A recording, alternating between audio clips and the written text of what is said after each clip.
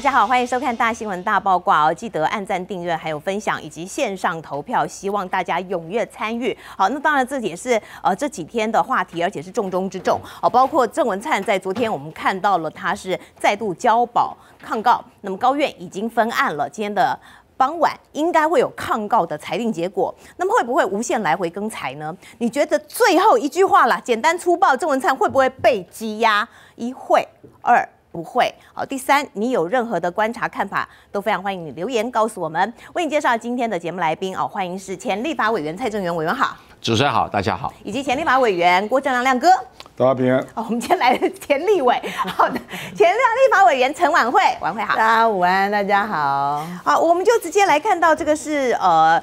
郑文灿涉贪案哦，那他在昨天的时候呢是重保哦，那么检方二度抗告，所以呢相关的卷证最速件的方式已经送到高院了。那么大家在。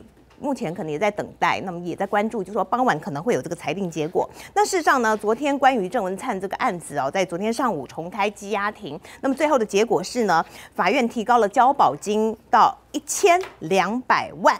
那么换句话说呢，他在六号当时的五百万交保金扣掉之后，还要再补七百万元，所以短短二十分钟，郑文灿的律师就已经筹到七百万元了。那么根据了解呢，当时点钞还要花了三。三十分钟，好，他筹钱筹七百万，只要二十分钟。好，那呃，其实我们主要关注的就是为什么不羁押？为什么而是重保？好，主要有三大理由：一，涉及洗钱灭证，市民不足；二，洗钱罪嫌，郑文灿否认犯行；好，第三，好，其余三名共犯都已经被抓起来，已经在押啦。好，那么根据了解呢，其实这个。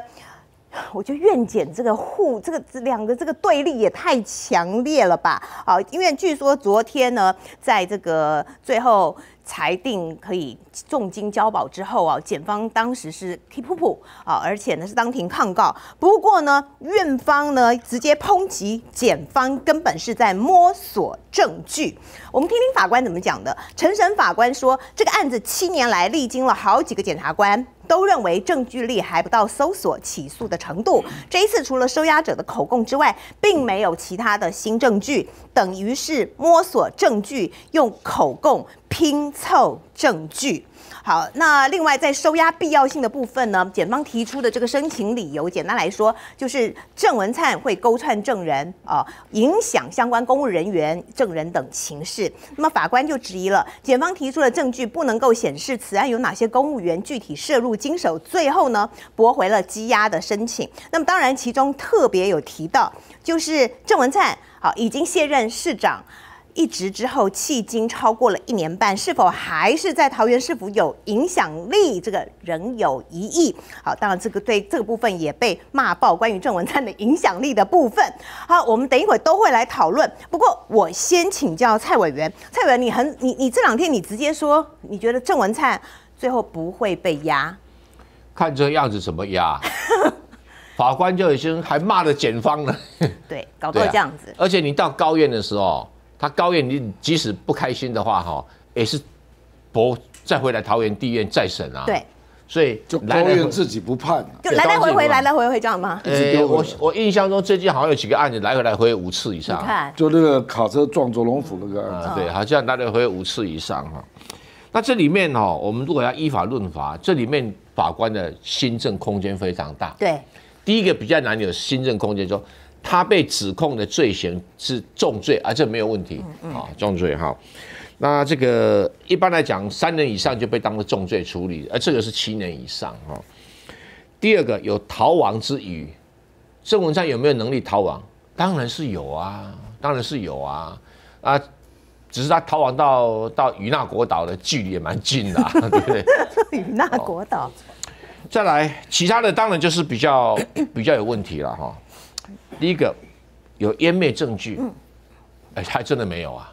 从头到尾哈，证据这个都是在什么什么这个呃监听啦，什么这个什么派人跟呐，哈，拍拍照片呐，哈，这个你很难证明他有湮灭证据。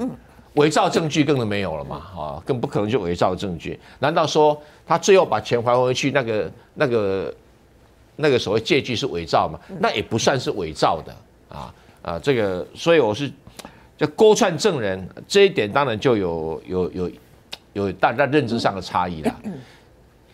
院法官认为说啊，他已经离职一年半了，他现在都换成张善政人马了，他怎么还有可能哈？可以去跟证人讲说，哎，阿亮阿亮，你到出庭作证的话，哎，帮我说几句好话。呃，他现在是吃张善政的头颅啦，所以这个东西法官认为是没有。嗯，检察官说谁说没有？对，哎呀，郑文灿在桃园哦 深耕八年，对不对？你看啊，光筹钱哦，哎，外面朋友就送来了，对不对？何何况哦，这个要求这个桃园市政府的这些纯公务员去作证。他可能有被提拔之恩，他可能跟郑文灿有关系，或者郑文灿哎可以找个人打招呼，对不对？这空间是在的啊，啊啊，这里面就是法官说有就有，没有就没有啊。好，所以勾串证人这一部分是很大很大的争议啊，很大。那因为所谓共犯哦，这个在押，那当当然不是证人的问题，那已经不是证人，是共犯，不是证人了哈。然后你说这个。诶，否认有犯有洗钱罪，这个案子是贪污罪啊，不是洗钱罪的问题啊。哦，到底有没有贪污？那五百万算不算贪污？哎，这里面真的有很大的争执。如果今天哦，我跟你讲哦，郑文灿不是民进党，郑文灿如果是郭正亮，已经被压起来。嗯，真的是这样，我同不同意？同意，同意，对嘛？对不对？哦，因为可是我不会有这种事。当然，你你没有当桃园市长嘛？你如果当云林县市长，云林县长你也没机会，好不好？那个要很肥的地方才有啊。我不会让人家到我的官邸啊，而且阿 雷冷汤，对对对啊，对，所以我们只能这样讲哦。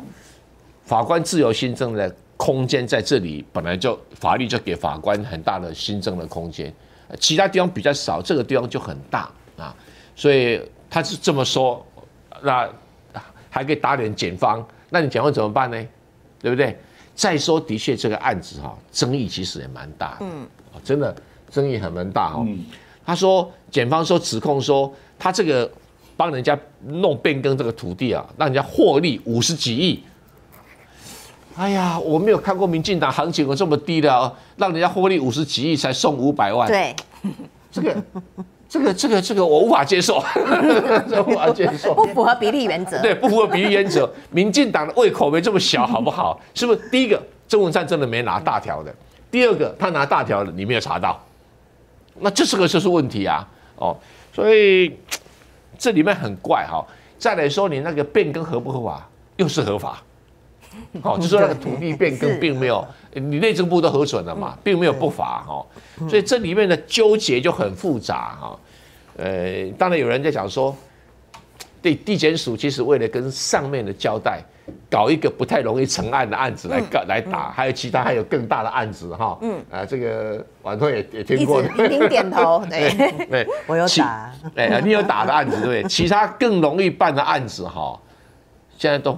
冰冻状态啊，反正这个哈很容易被法官挑毛病，很容易这个被郑文灿哈这个反驳，还有我们社会大众也觉得检察官办这案子会不会太怪了一点呢？嗯哦，所以有这种疑虑的案子，更有法官的空间啊，不只是这个不收押，还可以不收索，对不对？对啊，那留下以后判无罪的空间嘛。嗯，所以那亮哥，那这样子赖清德他到底是要办不办，要压不压？这样看起来。还是他想压也压不了。我说压人哦，压不了。他对台湾的掌握能力会被质疑哦。嗯嗯，那也会有后遗症啊。嗯，比如说这个党内啦，也包括党外啦。事实际上最近也有另外的案子会发生啦。啊，也不是只有郑文灿这个案子啊。因为七月二十四高鸿安的案子要一审宣判嘛。嗯。然后七月二十五号，严匡衡的案子要一审宣判啊，那当然也包括我们晚会的党主席会不会被起诉了？嗯，就有有一大堆案子，那九月还有林之妙的案子，反正接下来他可能砍向蓝白吧。对，可是如果说第一个案子就没过关哦，那他在党内他党内的这个绝对权威会被质疑了，啊，不，我是我认为他是希望能够积压啦，因为你去看第一次交保他那个表情，或者是第一次羁押庭还没有开，他干嘛出来讲话？对。他实际上没有必要讲话，嗯，他只要说尊重司法就好了。对，那勿往勿重，那个总统府跟党中央都发了声明，都用同样的话，对，他不用讲话了，就他还要出来讲，还要扯说打诈、肃贪、扫黑三大任务，啊，那后来加个不得不得不，不然，对不对？所以我觉得这个意图昭然若揭啦。那后来卓荣泰出来讲，跟那个。卓荣泰啊，嗯。卓荣泰这个人是很谨慎的人啊，他出来讲肃贪没有上限，你讲这个干嘛？对不对？而且还有另外一个事，民进党的廉政会啊，突然之间在羁押庭开会之前。开会啊，然后说如果被羁押，这个当做特案处理啊，呃，停权停权三年，对不对啊？民进党从来没有发生过这种事，都是事后处理，没有事前的啦。而且通常顶多也只是说起诉就停权，哪有人羁押就停权呐、呃，越搞越越近，你知道吗？本来是一审有罪才停权呐、啊，现在变成起诉停权，那现在再往前羁押就停权，这个针对性太明显两个了。可是法院二度放人哦，我知道。这代表说现在司法不还是在蔡英文的手啊，上。不是不能这样讲，表示因为现在都是桃园地院嘛，嗯嗯，那个交保庭都是桃园地院啊，那桃园地院表示蔡郑文灿有相当的力量嘛，这个站在政治的角度一定会做这种理解啦，所以接下来的招数就是，哎，高院你给我判，你不要给我再退回呃桃桃桃桃院。一定退回。桃哦，不，这个就牵涉到他对高院的掌握能力了。嗯，啊，如果你高院还是不愿意自己判，还是丢到桃园地院对，那我讲白了就是，你这个总统也不过尔尔啊。没有，因为高院从来没有自己判的记录。呃，对啊，第二程序是啦，都是对啊，都是重开啦，对啊，都是重开啦。哦因为卷宗在地院，你这个话也不一定成立了。那民进党的廉政汇报也从来没有这个时候在开会对了哦，因为啊，不是召开。不是因为这个高院呢，不像民进党的廉政委委员会那么有弹性。廉政委员会主席当然还是赖清德。对啊，不，这个基本上，然后他当然还会归咎到很多力量啊，比如说，哎呀，你这个邢太昭，你们这检察体系真是不够力啊！怎么这个检院斗争你斗斗输了？你斗输人家啊？那问题是，呃对总统来讲，他能够发动的不是院嘛，而是检嘛。那你如果这个检办办事能力那么差，对不对？那连郑文灿都搞不定，怎么可能搞得定那个九命怪猫柯文哲呢？对不对？我们家很好，百分之百相信啊。黄国昌讲，不是 我的意思是说，因为要动柯文哲也是检方啊，也不会是院嘛。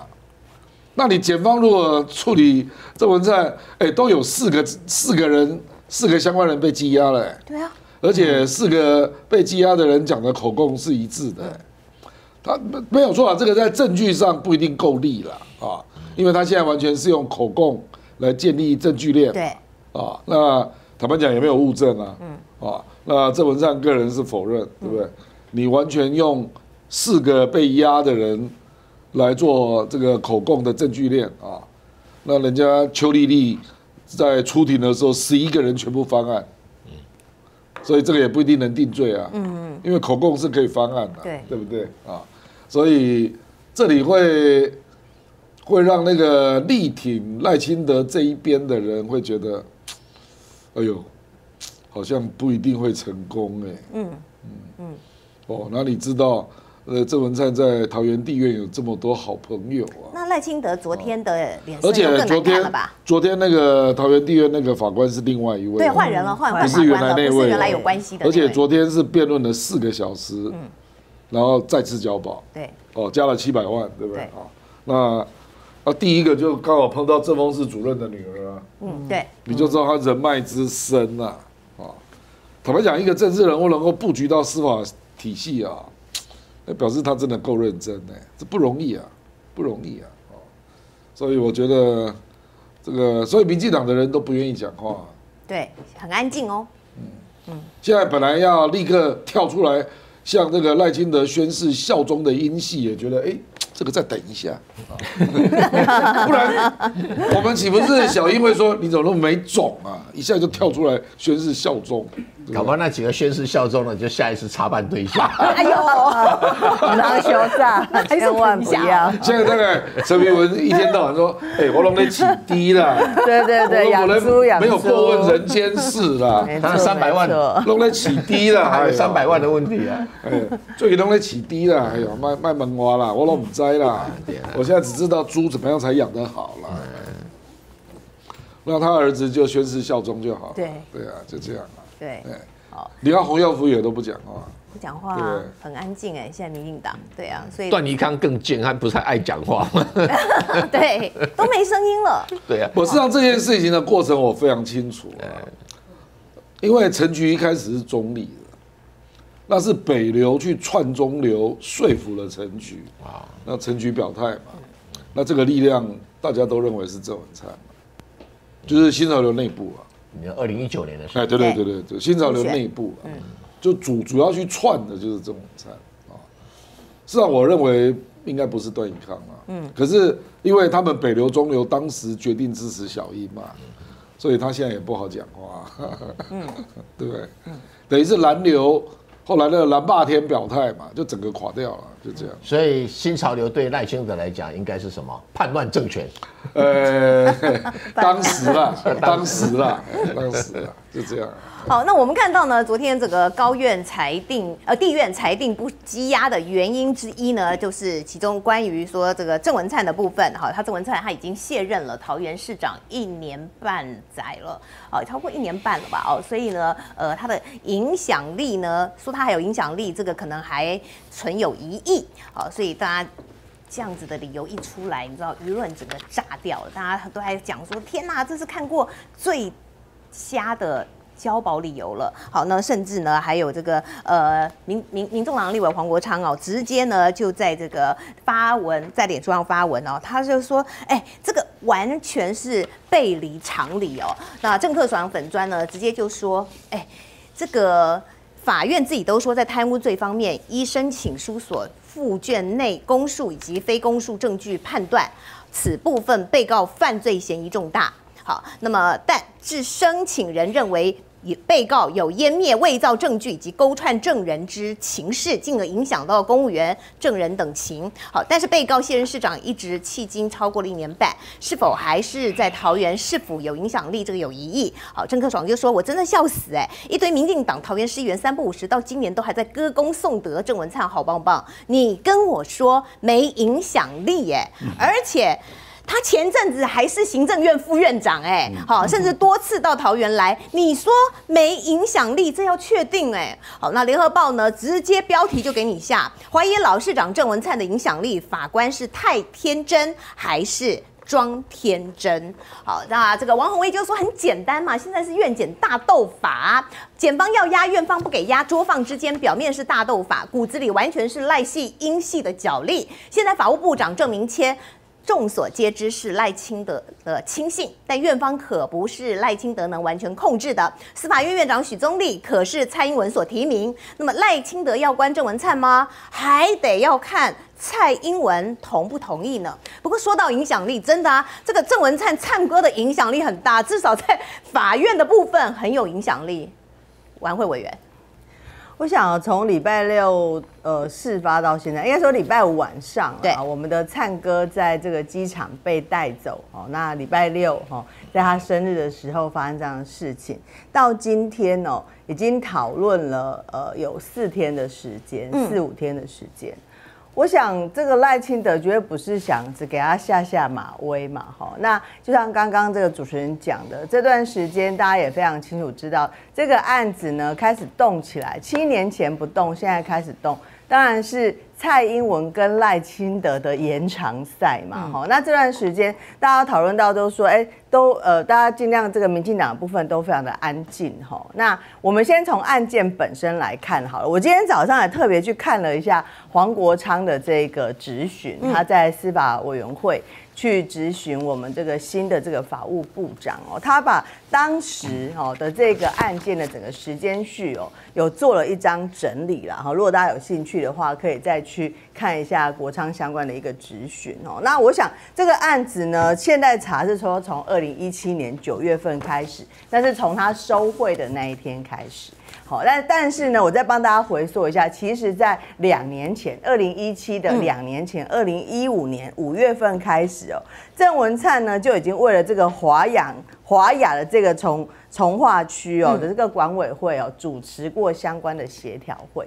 那我仔细的看一下国昌整个的一个流程，写到最后，当然他最后写二零一八年八月份，郑文灿把这个汇款。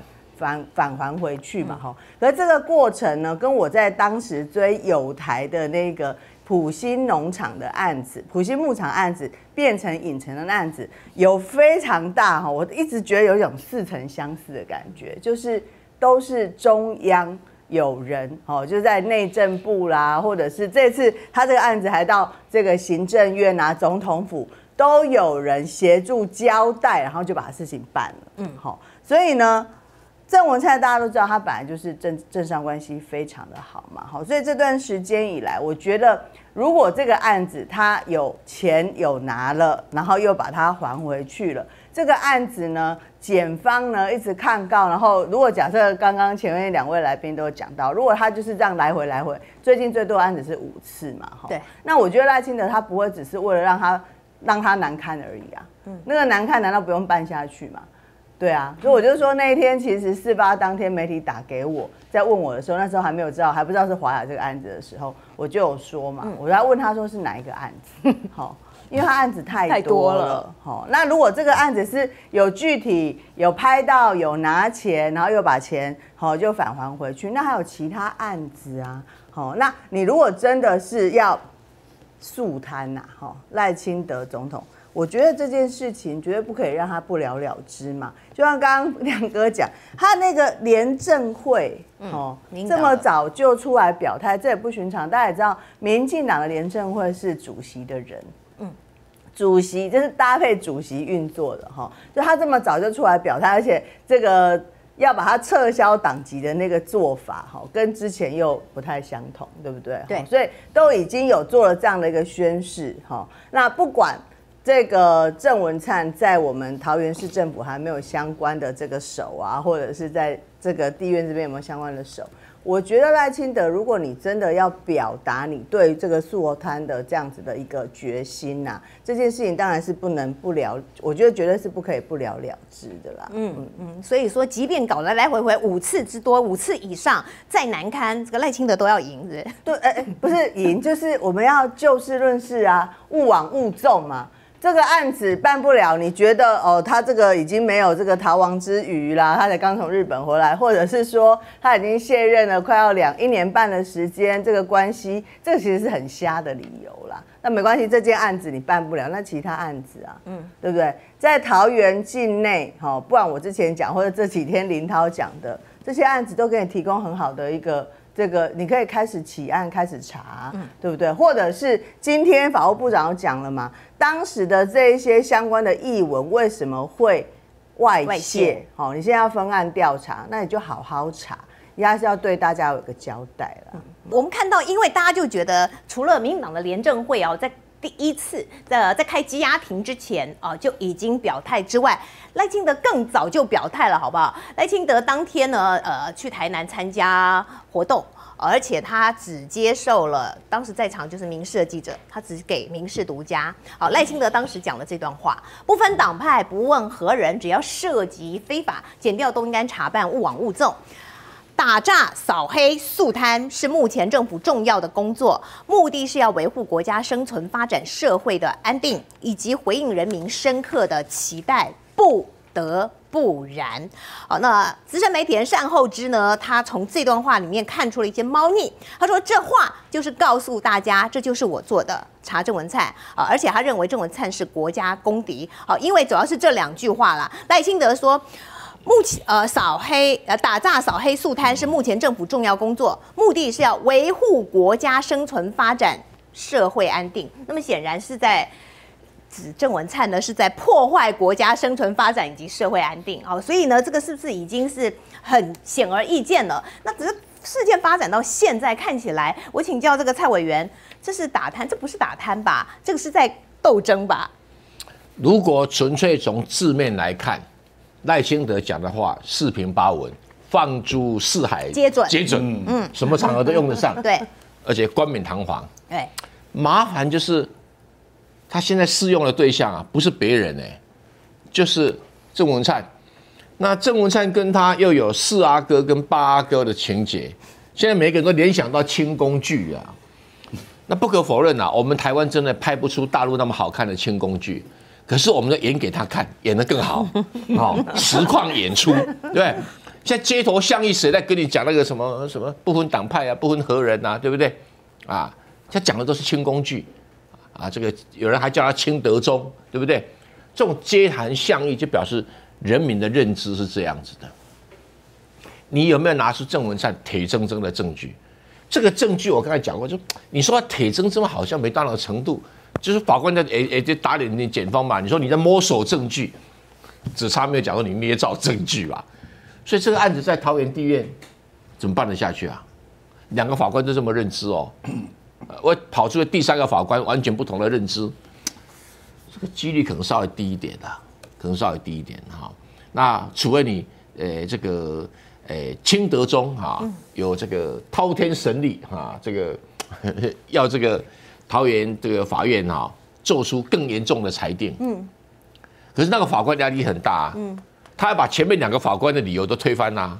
前面两个理由，法官理由说你证据不足嘛，证据薄弱嘛，你这个证据有点的像糊弄来的嘛，呃，已经讲得够白。当然，我们对法官裁定的理由不满，可是法官看到证据是这个样子啊。这这两码子事哦，法官看到的证据觉得证据很薄弱，对，我们看到是说法官写的理由很瞎，对，这 这个是 对法院的公信力是一个很大的挑战呐，啊，那现在有人敢讲说检察官的的证据是很很很扎实、很巩固吗？也没有人敢哦，也没有人敢哦？啊，所以，哎呀，就很头痛哎，好，然后他现在要讲这个话，意思就是。公开对法院喊话，嗯，人家会这样解读嘛？嗯，因为有个以前二零一九年的四阿哥八哥，那个郑亮兄比我还清楚。二零一九年的民进党内那些那些我们看的都傻眼的一些一些剧情啊啊，那什么新潮流哈，这个反对自己新潮流的皇太子哈的接班人就没有被斗死。注意到有一段时间大家认为接班人是郑文灿哦。哦，这但是这个蔡英文要提拔他当民党党主席啊，当行政院长啊，就，哎呀，郑文灿时运不济，哪知道他去弄林志坚，就林志坚弄来一个假论文，就波及到，因为他也是假论文。林志坚也是蔡英文弄的。对，哦，真的哦，对对对，硬塞的。啊，所以蔡英文毁灭自己。郑文灿本来要支持郑云鹏啊，对哈，对哈，所以这个一连串来讲，只能他时运不济啊，他没那个命啊。可现在已经又变成阶下囚啊，八哥啊，哦，所以我们只能寄予同情嘛，哈，所以我们要学这个民进党的人，每个人闭嘴，很惨的，很惨。好，但是我们看到这个尤银龙尤老师哦，今天上午的时候发了脸书长文，好啊，里面提到这起重大绿营权贵涉入贪腐事件，让蔡政府。宣称从无执政团队高官涉贪，说一系破功。而郑文灿案是否只是前朝可能贪腐冰山的一角呢？另外，他提到郑文灿是蔡英文执政团队的要角，甚受蔡总统宠幸，一度被拱成接班不二人选。涉贪事件发生，当然重创民进党的清廉形象，也严重腐蚀民众对民进党政府的信任感。从这个角度来看，赖清德总统是受害者。怎么会是加害者呢？好，另外呢，尤老师还提到，他说，民进党廉政会前天晚间开会，做出了一个不痛不痒的处置。好，他说，如果被羁押禁见就停权三年，如果一审有罪就再研究可能除名，这个完全是当一般的案件在处理，完全不接地气，不但不敢打老虎，甚至摸一下都不敢。他说，郑文灿案此时此刻发生是幸也是不幸，幸是因为地检署检察官胆敢举发当朝高官，显示司法维护正义的功能犹存；但不幸的是，新总统刚上任不到两个月，国内政局动荡已经难以收拾。这个时候再报一个新任命的海基会董事长涉贪事件，雪上加霜，也让人对赖总统的知人之明打了一个大问号。那么最后有老师说郑。文灿案绝对是核弹级的威力，未来有漫长的司法程序要走。它对民进党杀伤力有多大，对台湾政治文化造成多大负面的影响，恐怕都难以估计。好，他说郑文灿案绝对是核弹级威力。他说他上一次讲核弹级的威力就是林志坚的论文案。亮哥，显然他对于这个怎么目前办不下来这个部分，还有民进党的廉政会，他说这个根本是不痛不痒。甚至连摸一下都不敢呢。不了，他对这件事情的赖英之间的政治斗争太轻描淡写了啦。嗯。赖清德哪里有要用郑文灿？他要用吴峰山呐。对，郑文灿是蔡英文插队的吗？塞的，对。所以海基会为什么是六月初任命嘛？因为赖清德就要宣布就是吴峰山了嘛，是蔡英文硬插队的嘛。嗯。坦白讲，我最近也听到另外一种传闻呐，啊，这个这个是王尚志讲，嗯，他说郑文灿就是他有一定的分量，而且他就是政治嗅觉很灵敏嘛，他这个人哪有那么容易认输的，嗯，所以他接了海基会董事长之后，就开始勤拜访台商啊，还有宗教界的重要的传统公庙的领袖啊。他一度在想嘛，说两岸现在什么都没有办法突破，那是不是透过宗教交流来处理？至少这比较自然嘛，啊。结果你有没有发现沈博阳啊、梁文杰啊，就突然出来讲一些有的没的，什么宗教统战啊，还有妈祖庙被渗透，是啊，抹红，关公啊，什么保生大帝啊、神龙大帝啦。全部都被他列列进去了，合理啊！马祖中国人，关公中国人。我跟你讲啊，台湾的庙跟中国没有关系，大概只有那个万应公啊，万应公跟土地公，土地公，其他都跟中国有关。土地也公也是从中国来，是啊，是啊，有。可是他是本土嘛，本土嘛，啊，就所以，所以我的意思是说，他连这个也防哎。所以你让郑文灿走一走看看，弄出一个两岸的务实可行的路线，让他 try 吧。他想到的都不是这个，他想到了说，他会不会从这里又窜出一股势力啊？你就知道那个防心有多重，你知道我意思？嗯。所以我的意思说，你如果没有从这个角度去理解啊，你是抓不到这个事情的真正的意涵呐。哦，比如说，我也可以听到我们党内。另外一个大佬啊，就说：“哎，这个刚好让司法来凸显他的公正办案。”哦，你这个把这个事情想的太简单了吧？现在好像反正司法都被骂了吧？检检验两费都被。现在就变成是这个检院哦，背后是不是都有一定的力量在往前推了？嗯，所以坦白讲，我们看这个事情的原委，我们就会理解为桃园地院跟郑文灿比较熟嘛。嗯。然后检方跟赖清德比较熟嘛，就是这样啊。那两边在角力嘛，那结果堆堆堆，把那个交保金越跌越高。嗯，那在搞什么啊？搞不好下午出来变成两千，然后又二十分钟内八百万送到。你这个这个不是把郑文灿给凌迟了吗？事实上，昨天我就在看每个地方的网友的留言啊，就有一个人这样写。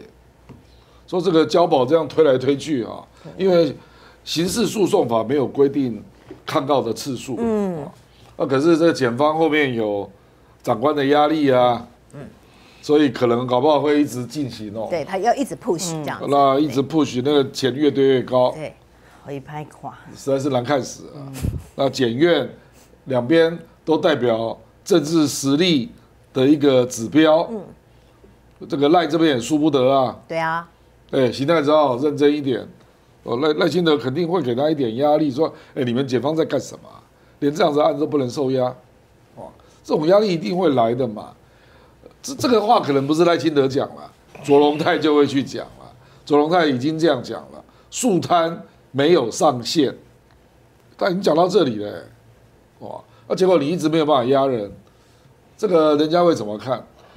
从政治的角度看，民进党内的人就会觉得说。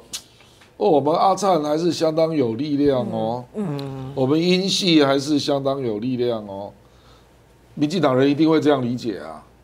啊，所以所以接下来要求效忠表态，就不会立刻大家都跪倒地上啊，纷纷开始背诵赖语录啊，不容易啦。那个小英治国家言录也要拿出来看看，就变成这样啦。这政治就是这样嘛。那国民党的人就嘿，原来民进党就在乱。那我跟你讲，有志的人，比如说陈廷飞，我随便举例啦。嗯，陈廷飞在这里就会觉得说，哎，我不能认输啊，我有机会啊。嗯嗯。如果连郑文灿都没被搞死，对，那我没事，我怎么不能拼下拼一下？他最好想清楚。台南跟桃园不一样，好惨你好坏啊 嘞，还有两年了，还有两年了，最好想清楚。不因为他现在民调领先林俊宪嘛。对。我的意思是说，各种有志的力量，然后不是赖清德这个系统的啦，就会开始觉得说，哎，搞不好有机会。就是郑文灿这个是有立即的扩散效应的啦。如果他一直没有办法被羁押啊，那接下来陈廷飞就会想说。我在台南的影响力跟郑文灿在桃园也差不多啊。那我现在民调赢林俊宪呢，我为什么要让？对不对？哦，那如果是那个郑文灿真的被羁押，嗯，陈廷飞人家就会去跟他讲了嘛，所以你每天有没有洗手啊？有没有洗脚啊？有没有洗头啊？哦，这种话就会开始出现了，各种各种，你听起来好像是。要博弈博弈了啊！可是 事实上都是警告这样。嗯，那你就不知道后面会发生多少事啊。嗯，因为台南太复杂了。嗯，搞不好每个人都有灰色地带。哦，那哎，上次翻口供十一个人，邱丽丽也是一百五十万交保。嗯，结果翻口供十一个人都无罪。对。那你去想一想嘛，呃，郑文灿如果没有被交保，那肯定最后决定要不要起诉就是决战嘛。不是吗？对，检方决定要不要起诉嘛？那他这边一定要想办法让那些人翻供啊。当然是这样啊。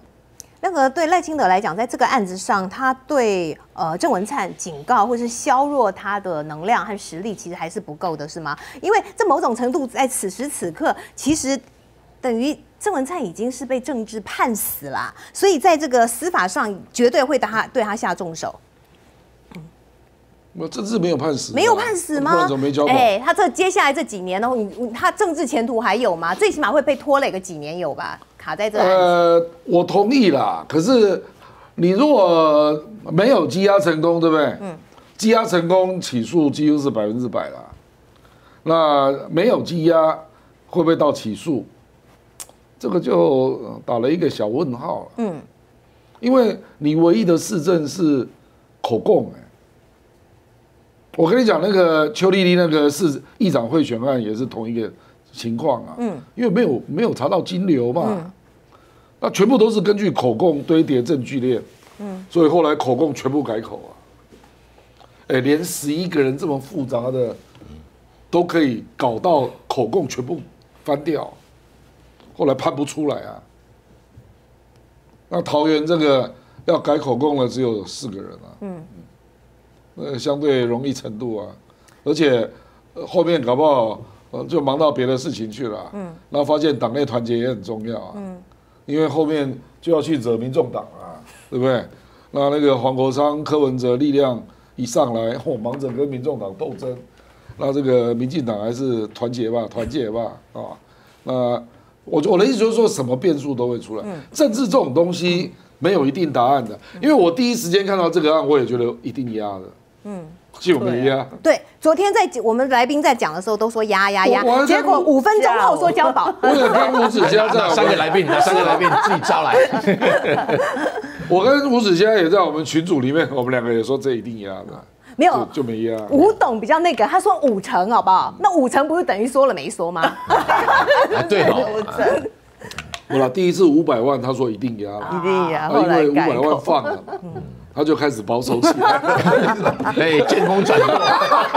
不，他这个态度跟英系不是一样，啊，对对对。英系也会说，哎，好像不一定有事。怪怪的对啊，就不能这样。那亮哥，我先要进广告之前，我问你哦，就是明天的童子军大会啊，那个对，那郑文灿他如果没有，他会不会去？会不同他时间呐哦，一定会错开哦了，就是他要去也是错开，错错开了，不会见到面了，不会。不会同框不会合体。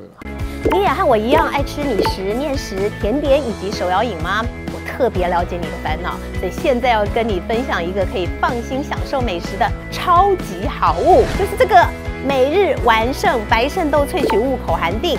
餐前三十分钟一次吃两颗，吃大餐 so easy。旺旺出品的这一款每日完胜白肾豆萃取物口含定是柠檬红茶风味的，像这种。夹链包设计哦，特别严选了北美优质白肾豆，获得了美国 FDA 的认证以及 GIS 健康许可。这个成分呢，其实是很天然，而且品质安心有保障。所以现在就赶快上快点购，为自己的健康、自信与美丽下单。很重要的是，记得输入推荐代码，因为会有额外折扣。